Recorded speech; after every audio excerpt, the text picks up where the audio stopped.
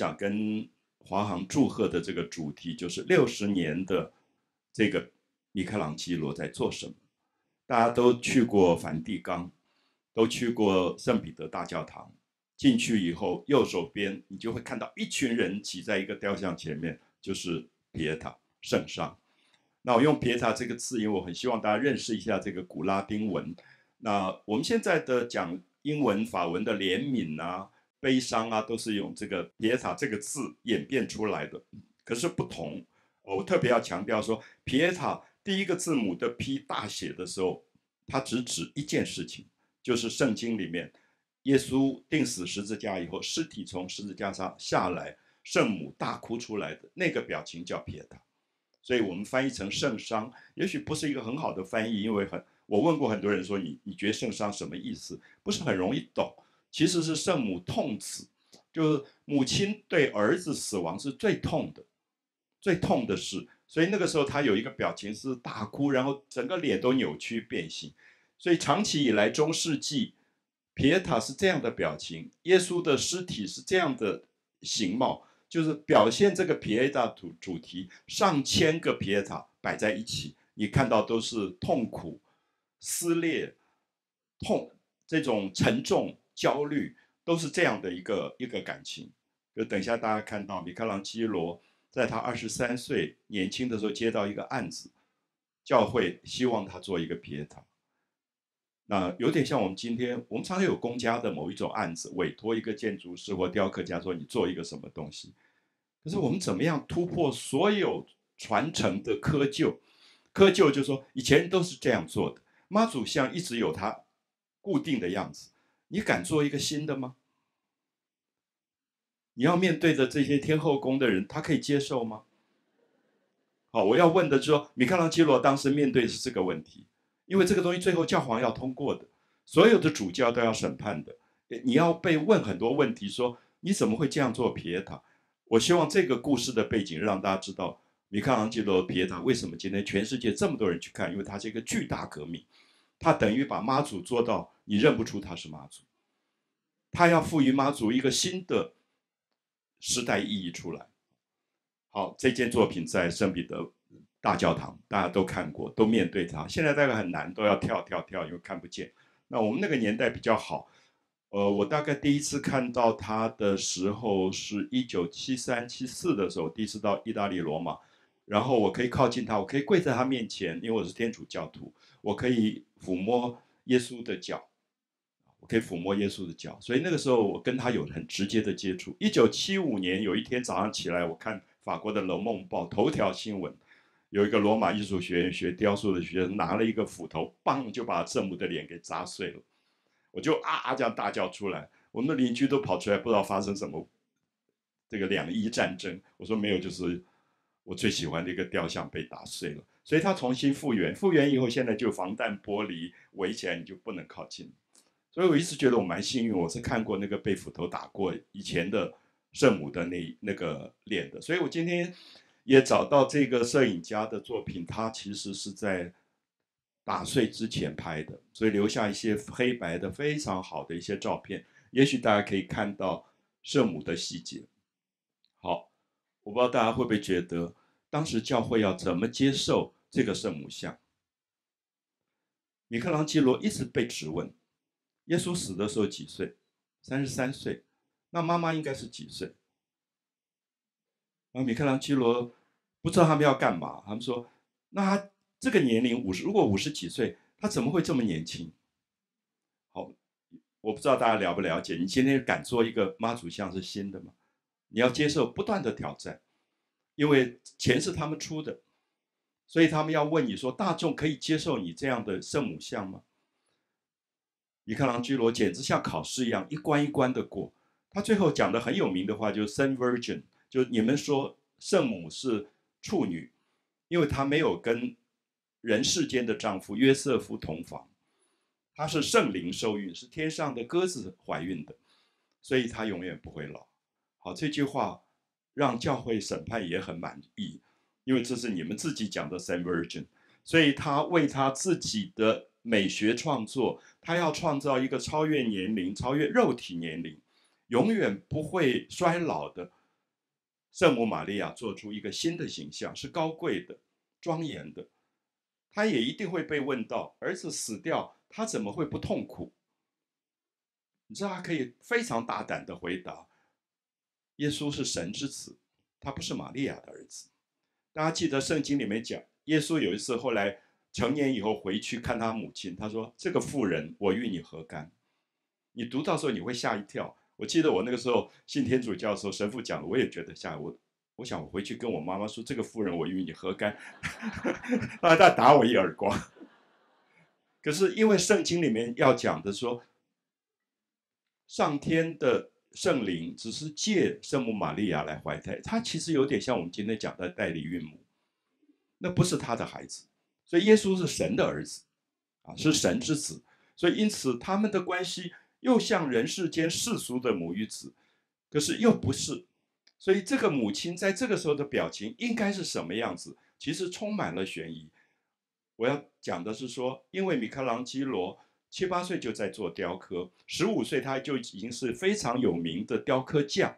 然后这个时候他碰到了佛罗伦斯的一个家族梅第奇家族的第三代罗伦索。罗伦索说：“我办了一个柏拉图学院。”你来上课，所以他去读了希腊哲学，读了柏拉图哲学。柏拉图认为所有的美是可以超越人世间的隔阂的，所以他创造了一个新柏拉图美学里的圣母，就是它是永恒的，它庄严，它高贵，它没有我们的笑与哭，它不会在一个儿子的死亡面前痛哭流涕，它不会扭曲。好，我不知道，我倒回去大家看一下这样的脸。是中世纪的，啊，是中世纪的。到了米开朗基罗，他要创造一个完全宁静的东西，是人内在的灵性的高贵。所以我给大家看一下细节，你看到这个摄影师拍的细节，你可以了解到这个雕像是一个多么巨大的革命。其实很不容易，因为在当时要大众接受都不容易，因为大众已经习惯那个样子才叫做妈祖。所以你忽然给他一个非常美的东西，大家知道美是让人恐惧的。有时候你不相信，看看你如果做一个新的妈祖像，美到简直像现在一个名模，他一定会反抗。他对美美是本身会让人恐惧的东西，所以当时就是觉得这个圣母怎么那么美？她不是应该在皮耶塔里是扮演悲伤跟脸都扭脸孔都扭曲的角色吗？怎么她会这么宁静？我不知道大家有没有发现，其实在一个民族当中，最后这个东西变成一个教育。我在有一次看到波音飞机它的呃失事，然后那个飞机行里面很多德国人，我看到他们在那个现场的时候，那个表情，我在想，如果是我们的电视，很可能它有很多哭叫的画面，可是它非常安静。那个时候我就忽然想到了皮塔，我在想，是不是这个东西真的在教育很多的民众，是说。在最大的哀伤面前，我是可以保有我自己的节制的，我情绪的节制。那这个是文艺复兴，这个是新柏拉图主义哲学美学。所以米开朗基罗用这样的方式创作了他的新的时代图像。那真的幸好通过了，那没有通过他可能就砸碎了。就是当时这个呃审判的当时的主教。Julius 二世，他是梅第奇家族出来的，他也有这个背景，啊，所以我们必须要说，文艺复兴当时其实有一个文佛罗伦斯这边出来的梅第奇家族，他们不断不断的把新的柏拉图主义跟希腊哲学慢慢慢慢放进到艺术当中，因为过去中世纪认为那个叫异端，基督教的信仰认为希腊是异端，可是这个家族因为他做了柏拉图哲学。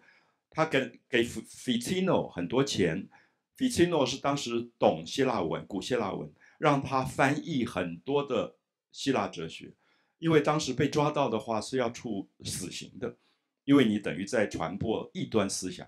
可是这个家族用他的钱跟权力保护了这一批艺术家，把新柏拉图哲学，大家都记得吗？佛罗伦斯最有名的维纳斯的诞生，你知道那张画？就是这个家族要波提切利画的，不然他哪里敢画？他一定活活烧死的。因为怎么可以画一个维纳斯？维纳斯是异端，他是希腊的，而且裸体，你怎么可以歌颂这个东西？所以这里面其实有一个家族，你们可以看最近好莱坞其实拍了这个梅第奇家族的一个影集，这个家族真了不起，就是从第一代的 Cosimo 是卖羊毛，后来变成银行，他们是最好的银行家，然后到第三代 Lorenzo 拜辛波拉图哲学学院，然后开创了整个欧洲的新文艺复兴。没有这个家族，根本就没有文艺复兴。啊，米开朗基罗是他们家族培养，从十五岁就在他们的学家庭学院当中学习。好，我很希望大家细看，如果有机会再到现场，就感觉那个圣母完全在自己的冥想当中。你不觉得吗？东方的观音有时候也是这样的表情。其实全世界在做美的思考、美的沉思的时候是这样的表情。一种内敛的节制，跟自己对话的，而不是看到一个人的尸体以后大哭的，是跟自己对抗，到底生命存在的意义是什么？是那个东西使这件作品变得这么迷人。啊，圣母的手托在他的腋下，然后等一下放大耶稣的部分，大家看到这个手垂下来，可这个身体也跟中世纪不一样，因为中世纪一定是遍体鳞伤。里面血迹斑斑，因为是钉在十字架上卸下来。可是米开朗基罗也改写了，除了不太明显的肋骨这边有一个小小的伤口之外，大部分其实是完美到惊人，就觉得哇，怎么尸体会这么美？他就把美拿来作为一种对青春的歌颂。你会觉得是一个沉睡的人，陶醉在睡眠当中的一个一个年轻的身体。不是一个受苦的身体，你看一下眉眼，眉眼之间的感觉，好像，好像轻轻的呼唤，他就会醒来的。所以跟刚才我们看中世纪的，我还是倒回去给大家比较一下啊！你不比较，你不知道原来可以有两个妈祖。好，圣母的做法，耶稣的做法，你可以看到中世纪是这样做的。其实。时间不够，不然会放更多。大家看中世纪有各种悲惨的样子，而那个脸都是扭曲的，所以它是一个多么巨大的革命，才敢于把这么宁静的东西提到人的面前来。那你面对这样的一个容貌，你心灵的反应跟刚面对刚才那种非常遍体鳞伤，其实是完全不一样。它在提升你整个美的信仰啊，对美的一种。自我节制动，因为我们在看雕像，我们自己会变成他。所以有一阵子，我觉得我自己好老，因为我记得小学校园老师有一个很老的孔子像，然后我就觉得我的身体怎么都不挺了。其实那个东西在指导你的，因为如果在希腊广场内看到各种意气风发的雕像，他走过去的人的身体姿势也不一样。啊，所以有时候我们会知道图像是潜移默化，你不知不觉就被感染。好，注意一下那个圣母的手。跟耶稣身体之间的关系，衬了一块布，没有肉体直接接触，然后那个衣纹漂亮的不得了，啊，手上有一个钉孔，小小的伤痕，可是它都不夸张。如果有机会，你在像德国这一带看到中世纪的那个骨头都碎掉，然后那个血蹦开来，非常残忍的样子。可是米开朗基罗把它完全改写，再倒回去。我希望大家可以看到这个手背，它到最后打磨，然后用最细最细的小羊皮抛光，所以你会觉得那个大理石已经变成像蜡烛一样的质感。可这个东西是米开朗基罗二十三岁，他还有好长的路要走。这个人一举成名，我后来有有一阵子我觉得好悲哀，就是一个人二十三岁成名，接下来真的好辛苦，因为所有人都希望他重复二十三岁的东西。可是他有没有重复？他没有重复。我们看到他三十几岁去接了一个奇怪的案子，就是画那个屋顶的天棚。他不是学画的，他是雕塑家。然后他每天要扛着那个很多的土，爬上二十公尺高的屋顶，然后自己去糊那个。他根本就像泥水匠一样去糊那个，因为 fresco 湿壁画，每天你能够画那一块，你就只能做那一块，因为干了以后颜色进不去了，所以。大概上个世纪末的时候，日本曾经投资去修复过、洗过，里面的颜色可以很好几公分厚。那他是在那个天棚上画了四年，画完以后连颈椎都变畸形，他在挑战一个自己永远的难度。那个时候没有人可以进这个房间。好，注意，教皇是 Julius 二世，就是佛罗伦斯的梅第奇家族的，给了他钥匙。然后他为什么要把门锁起来，不让大家来看？因为当时主管这个整个圣彼得大教堂的建筑群队是罗马派，布拉曼特。布拉曼特非常恨米开朗基罗，因为你是佛罗伦斯来的，就是你你台南来的，你想在台北占我们的码头，就是全世界都有派系的问题。所以米开朗基罗后来就把自己等于像囚犯一样关在这个屋顶上四年。有一个人进去了，拉斐尔。拉斐尔跟布拉曼特很好，偷偷的打打了一呃复制的钥匙，在底下偷看。我想他大概头都晕了，没有看到一个人可以画出这么伟大的东西。拉斐尔就在隔壁画雅典学派，所以那是一个不得了的伟大的时代。我常常跟朋友说，你看完这个就走了，旁边就是拉斐尔 一个大壁画，雅典学派里面就有米开朗基罗，他就把米开朗基罗画在他的雅典学派里，他觉得他。跟这样的人活在同一个时代，等于是回到了苏格拉底、柏拉图的时代。所以那个那个时代，每一个都精彩啊，这些人都精彩。那所以布拉曼特虽然跟米开朗基罗不合，可是米开朗基罗也觉得布拉曼特基本上的建筑的架构是了不起的。所以布拉曼特死掉以后，他就替布拉曼特做了屋顶的这个完成。所以这个也是我今天想要讲六十年，就六十年不只是自己的六十年。还包含了一个时代的六十年，很多东西是累积起来的。罗马不是一天造成的啊！我们知道美是历史的加法，你必须要加在一起。如果你一直用减法铲除，它就没有东西可以累积啊！所以现在大概到西斯丁教堂抬头去看，我还是要说我很幸运，因为我去的时候就是大概一九七三那个时候，它还是教堂，所以我是。名正言顺跪在底下做了一台弥撒，所以用做弥撒在里面听到所有的圣乐，然后看屋顶上东西。后来去的很可怕，因为根本没有座座位，全部都站着，然后一直就有呃管理员就要大家安静，因为即使安静，那个声音都像海浪一样，里面轰轰轰，因为人实在太多太多了。可是真的伟大，就是你要想象。他要设想人是从底下隔着二十公尺高去看一个人体，所以我们现在看到的密密麻麻的以这九个方格为主的，我我常常讲说，它其实就是绘绘本。圣经讲创世纪，怎么创造了星球，怎么创造了亚当，怎么样有大洪水，他就把一段一段圣经的故事画成九段的画，其实就是绘本。跟我们今天讲什么伟大的艺术创作，其实不是，它就是为了宗教信仰这个东西所做出来。可是你放大以后，你可以看到那里面的力量。第一块，这个创造的神在天空当中分开光明跟黑暗。第二段，非常强的命令星球的出现，而且他是用电影的手法，他命令星球出现以后，他就离开。所以你可以看到它有两个身体，其实时间在延续，啊，时间在延续，然后浮在这边把陆地、海洋分开来，这是创造自然，光的出现，星球的出现，星辰的出现，水跟陆地的出现，啊，宇宙的创造。那接下来啊，我们再看一下局部，你可以看到它那个表情就是完全命令的一种指令式，说天空太阳要要出来，那读圣经的文字。最后让它变成一个图画性的东西。我我很喜欢的是他这些不重要的人物就在旁边拉着那个教皇的徽章的这些人体，非常非常巨大，啊，非常强的。你在二十公尺底下看的时候，视觉上最强的是这些身体，啊，变成一种很抽象的人对抗时间、对抗空间的一个巨大力量。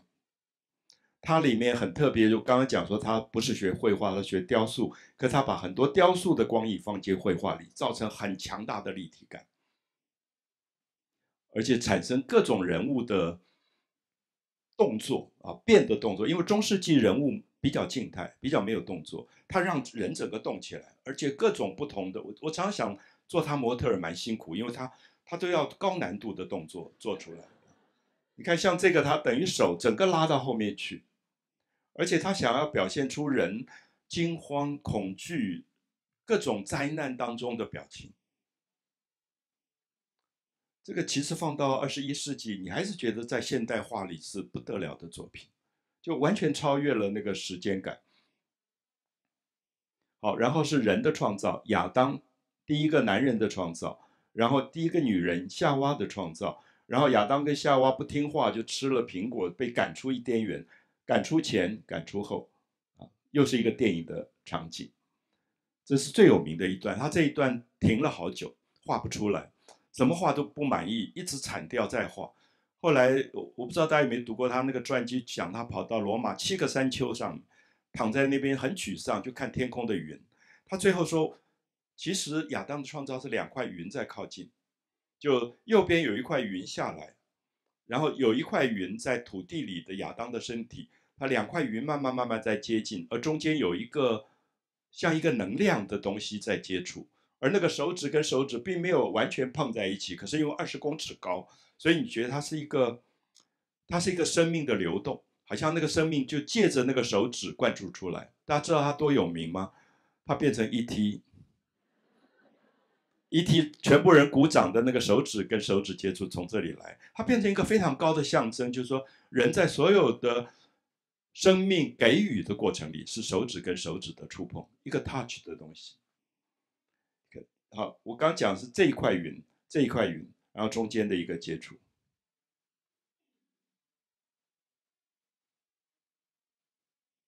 你看做多少张素描，然后最后把草稿。贴在屋顶上，打了洞，用粉铺粉，拿下来才开始画。它有很多工匠的这个技术的过程，所以素描基础非常非常的好。这是最迷人的一段完全可以变成一个抽象的心理心理象征、隐喻的东西。然后两个手的表情也不一样，一个在等待，一个在给予。啊两个手是不一样表情，大家知道印度系统，比如佛教系统里面很多手印，其实也是用手啊。什么叫做无畏，让你不要害怕的？什么叫做施予给予啊？左手往下是给予，那右手往上是无畏不害怕。其实它就是不用语言，而是用手的姿势来做各种的表情。啊，亚当夏娃。我觉得这个神很好玩。这个神弄了一个伊甸园，说它是一个乐园，你们在这里什么都可以玩，什么都可以吃，高兴做什么就做什么。可就有一棵树，那个果子千万不要吃。我大概中学的时候，那个时候灵洗，我就跟神父说，我大概也会是亚当夏娃，因为反正教官说什么东西不可以做，我们是一定会去做的。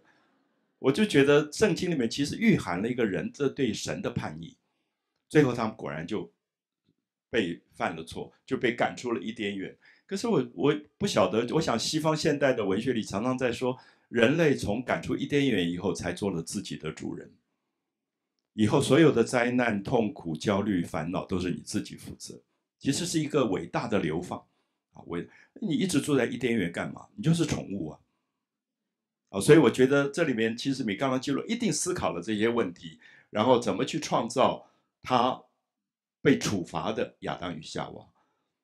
然后他旁边还画了很多的先知啊，各个不同圣经里面提到的先知，这是戴尔菲先知。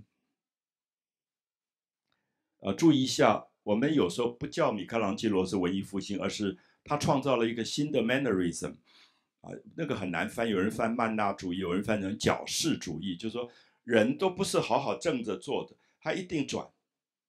上半身往一个方向转，下半身往另外一个方向转，像扭麻花一样。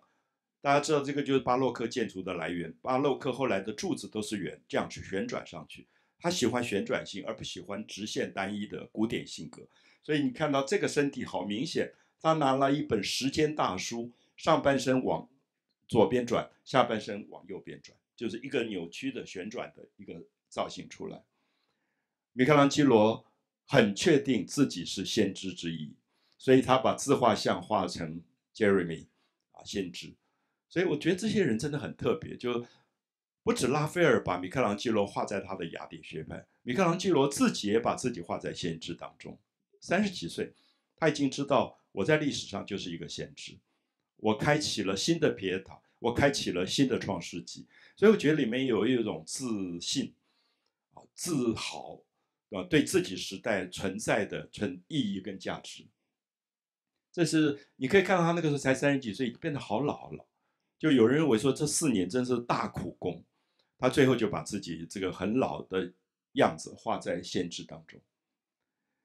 他大概五十岁、六十岁以后又回到罗马，那个时候教皇已经换了，画了最后的审判。最后审判是讲所有的死者活过来，有的上天堂，有的下地狱，然后他把自己画在这里，在天堂跟地狱之间是一张剥开的皮，就这个，这是他自画像，就是好像整个肉体全部被剥开了，只剩下一张皮吊在空中当中。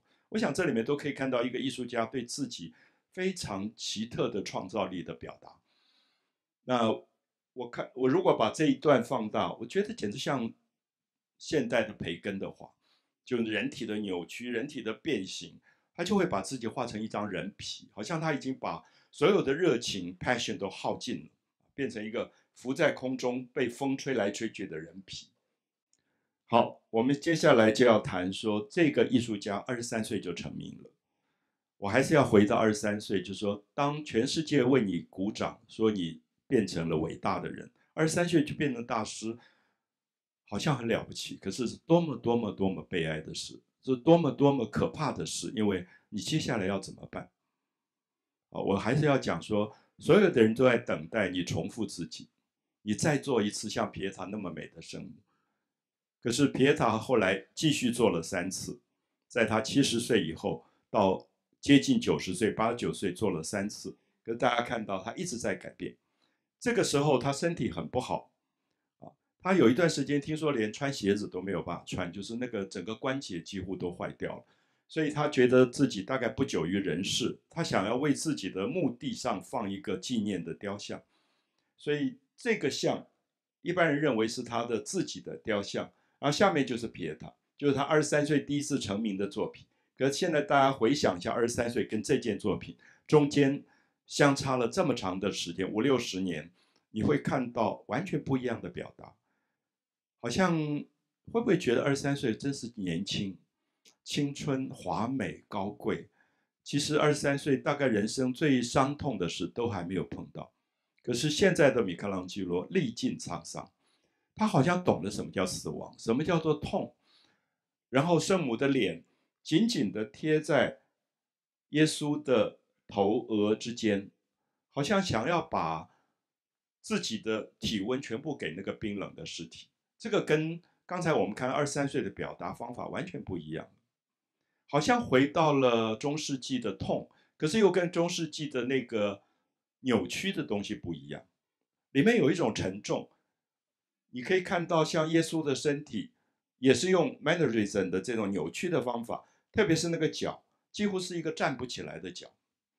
你现在再回想二十三岁，他是一个多么宁静的睡眠，多么安详的睡眠，可现在是一个扶不起来身体。可是旁边圣母跟玛德莲娜这么希望他站起来，努力的想要把这个身体站起来。其实我们有时候在亲人的死亡面前。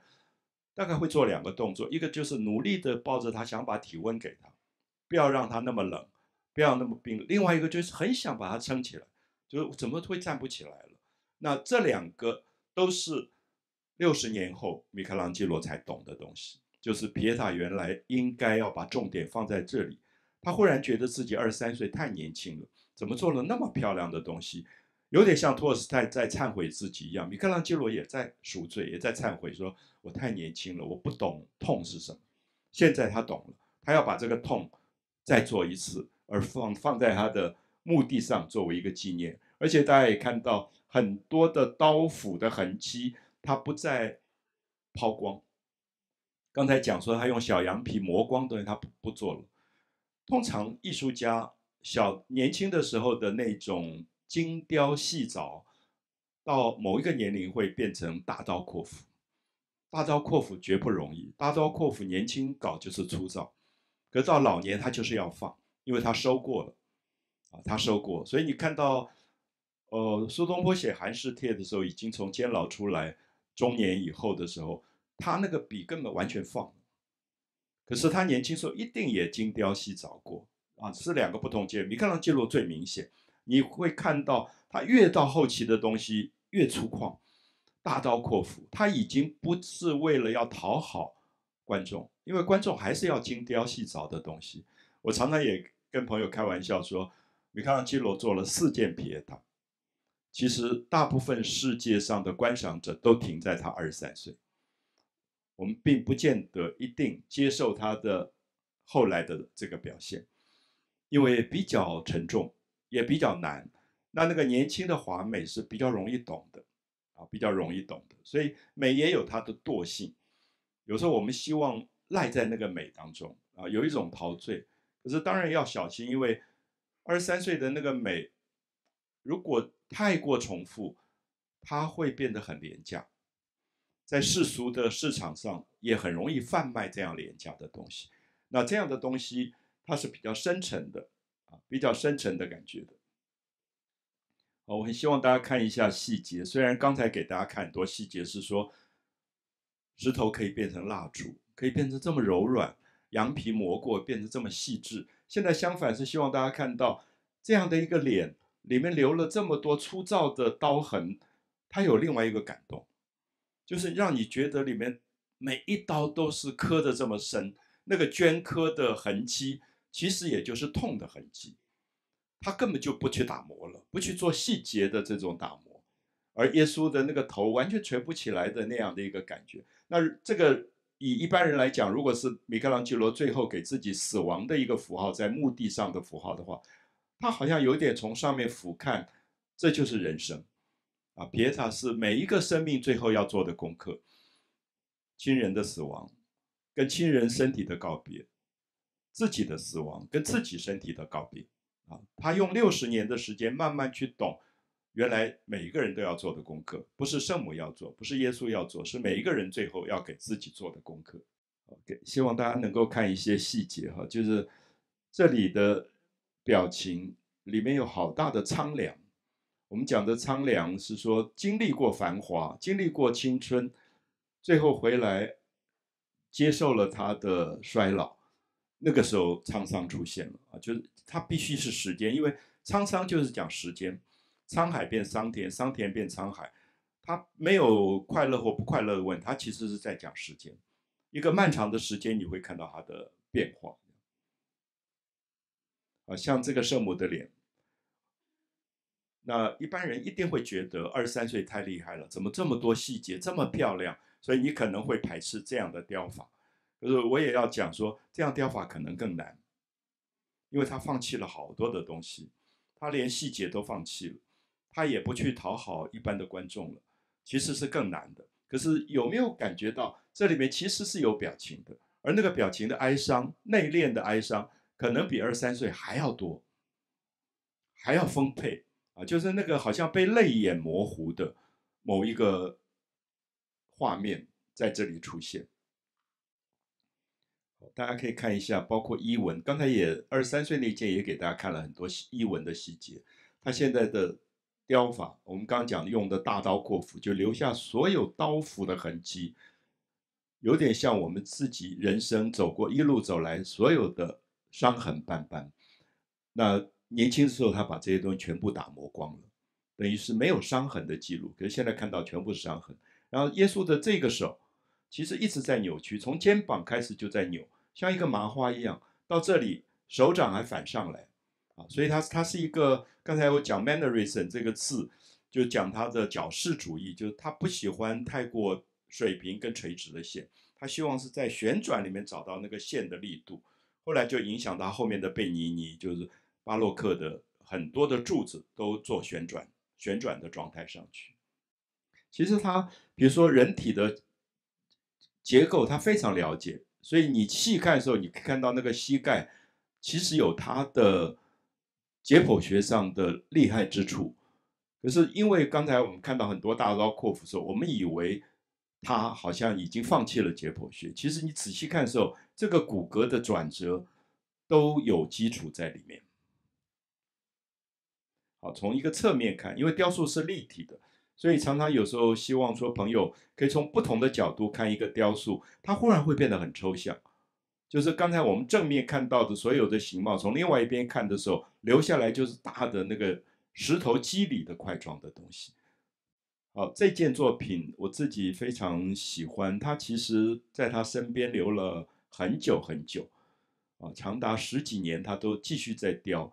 那这个时候他好像不像二三岁，二三岁那个作品是人家委托，委托，所以你必须要有限期，什么时候要交件。所以他必须要有一定的计划，然后最后把它做成一个所谓的完成，然后把这个完成交出去。我不知道，我想在座如果有创作经验的朋友知道，创作有时候如果你不是为了别人委托给你，你是永远做不完的。我想《红楼梦》会一直写下去的，到死亡那一天。很多作品如果一直在身边，那如果卖出去了，别人收藏了，你没办法。可是如果在身边，你大概总是又会去动一动，又会动，因为。它有点像人生，它其实是一个没有办法全部完成的状态，所以那个未完成，我我觉得在美学上非常有趣，就是可能就是给自己留一个不断可以修正它跟修改它的可能，所以这些作品你就会发现它一直在修，一直在修，然后最后出现一个主要的东西，他把自己的像也拿掉了，就圣母的脸从上面俯瞰耶稣的死亡。然后充满了一种悲悯，可是你到现场，你一直在转，因为我我一直希望我看得更清楚，我觉得是不是有点模糊？我们总是看一个画或者雕塑，我们希望把焦距能够对焦到比较准确，可是始终是没有办法对焦的。我后来想到，美国有个很有名的摄影师叫 Eugene Smith，他曾经到日本的那个被污染的那个村落去拍很多的照片，那他技术非常好，他光影各方面都很讲究。可是因为他拍那个重金属的污染，然后很多受害的工人，那些工人已经成年，然后那个母亲要，因为他们已经变成植物人，母亲就必须要每天在一个时候替他们洗澡，裸体的洗澡。然后这 Eugene Smith 就跟他们变成了朋友，固定的时间到那边去拍这张照片。跟他说，他现在流行的那张照片不是技术上最准确的，因为他说拿拿起来以后，他想起来自己长达。几个月的时间，每天这个时刻看一个妈妈给儿子洗澡，他觉得他泪眼模糊，然后就按下了快门。而那张照片是他最有名的一张照片。就是我想这里面有一个矛盾，说我们总觉得艺术的精准是在技术上的绝对准确，可是不一定。还有一个是情感的准确，情感的准确有的时候是泪眼模糊，就是你面对这样画面的时候，你觉得你根本看不清楚了。所以我一直想跟朋友讲说，我觉得米开朗基罗后来很多圣母的脸好像老是对焦对不起来。那会不会他刻意要把这样的一张脸的悲哀内敛到最后是在泪水后面？那因此他不是像他二十三岁做的那样的作品。然后这件作品其实变形变得非常厉害，因为你可以看到耶稣的肩膀到这只手非常巨大，啊，非常巨大，几乎。在人体的比例上是不合的，而相对讲起来，那两个腿是完全萎缩掉的，好像是一个受过伤的、得过病的是腿，完全没有力量可以站起来。然后你看到圣母的表情在看这个死亡，而同时她的手穿过耶稣的腋下，这个手刻意的巨大，而且有一个姿势说站起来，好像命令一样说你给我站起来。我觉得里面有一个母亲的痛，所以你怎么可以在我的面前站不起来了？好，我觉得这个时候跟他二十三岁想要表达的皮耶塔有了多么大的变化，而这个东西是一直在思考的，就是一个艺术家到最后加入他对生命的很多哲学，他才会一直修图，一直修图，要做出他认为对的皮耶塔，而这个时候他不是为了别人做，是为自己，不是委托的案件了。也不要接受考试跟审判了，就是自己要问自己说：我觉得活到现在七八十岁，我的皮耶塔是什么样子的皮耶塔？我相信那是创作里最伟大的东西。所以，当我们讲六十年，对个人、对企业、对国家、对社会，其实是一个不断自己问自己的过程。我还可不可以更好一点？我还可不可以有更多一点的领悟？所以可以把它推到更高的一个层次上去。好，我不知道大家。能不能感觉到我刚刚说那个泪水的后面的耶稣圣母的脸？这张脸也是马德莲娜的脸，就其实他好像刻意把它们变模糊了。可雕塑要变模糊，其实非常不容易。可他这么大胆的让它变成一个模糊的状态。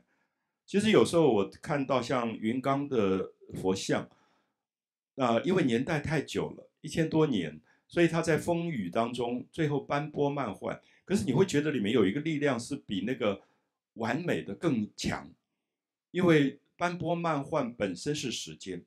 时间加进去的东西，可是米开朗基罗是在六十年当中懂了，他要从二十三岁的皮耶塔开始转移到升华到他七十岁的皮耶塔，很多东西他都简略掉了。圣母的手非常的刻意夸张出来，包括那个青筋的保罗，可是耶稣的身体又非常的抽象。就是我们当然不怀疑米开朗基罗解剖学太太厉害了，可是他这个时候也没有刻意要表现解剖学，他只把肋骨、肌肉的某些东西用很抽象的方法就传达出来。这两条腿是，我都很希望大家脑海里有一个二十三岁，所以随时来做比较，可以对比出生命有意义的六十年。什么叫做有意义啊？这六十年到底可以让自己？进步到什么程度？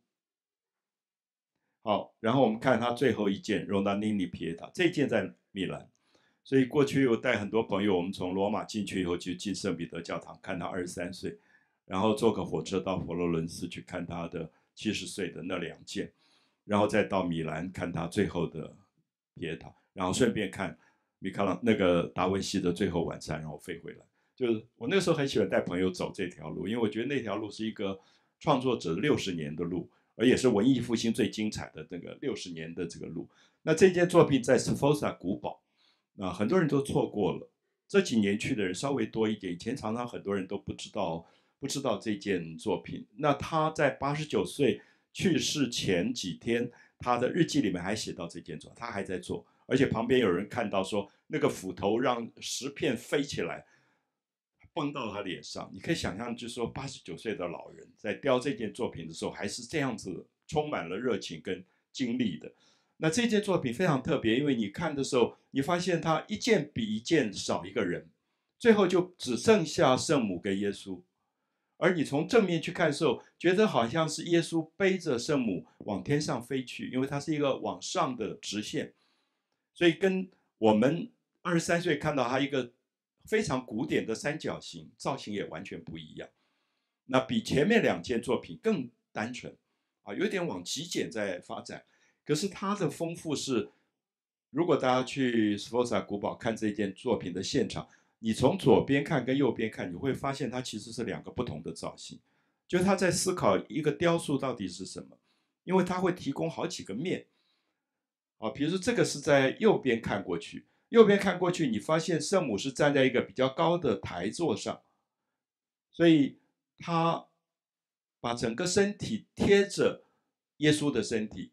你在现场你会很明显看到圣母用什么力量？大腿用大腿的力量拖着耶稣的臀部，想要把它拖起来。记不记得上一件是手，手指在指着要他站起来。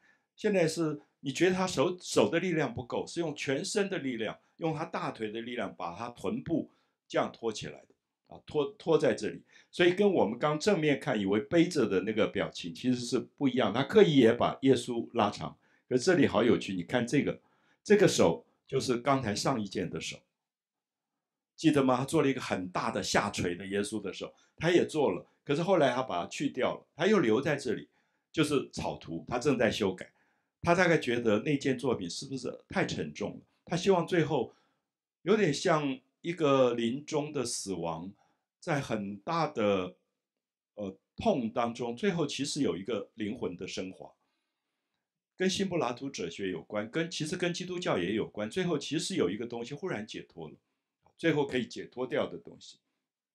好，左边你发现左边这个手留在这边，构成这个月牙的弧线。构成月牙的弧线，所以这边看起来非常明显是往上飞起来，因为它有一个往上升的弧线的感觉。好，所以很希望大家如果在现场，一定要从两边去看，你就知道说这个人赋予了雕塑一个现代非常重要的影响。后来的 Giacometti 这些人其实从这里跑出来的，就是极简的身体。啊，Giacometti 会做瑞士的这个雕刻家，他会做一个人体，完全是写实的，然后慢慢去掉。他他说他要看人最后去掉不能去掉那个部分，就变成 Giacometti 的那个雕像。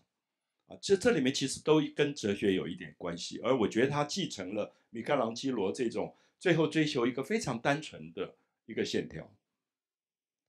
好，我们再回到正面啊，你可以看到圣母跟耶稣的。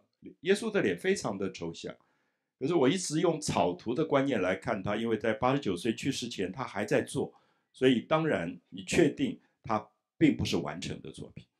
他如果没有死亡，他还会继续在在雕，所以因此他保留了很多草图的概念。我们下面看一下，好，圣母的脸，圣母的脸，刚才记不记得前两件是非常贴近耶稣的，好像想把体温给他。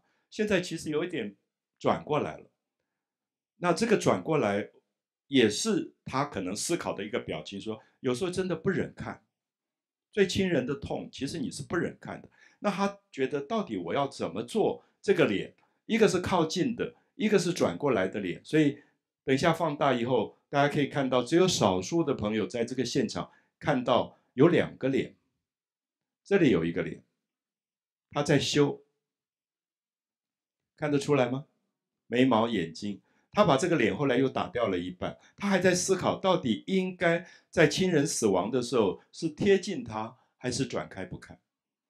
那我觉得这个在艺术上是非常惊人的东西，就是只有自己的草图会不断的修，因为还没有定稿，而没有定稿，所以人性里面有各种摸索的这种可能。那太快容易定稿的东西，其实都是比较浅薄的，就是。他不会有那么深刻的你去思考的东西，好，所以我我一直觉得这件作品虽然没有完成，是非常非常值得作为米开朗基罗最后一个了不起的一个句点。